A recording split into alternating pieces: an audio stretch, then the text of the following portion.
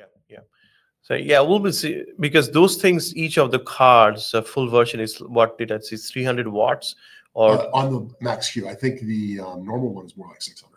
600. So I don't even know how they're going to provide power to all of that. Our max wattage on a you know power line is like 1600 watts.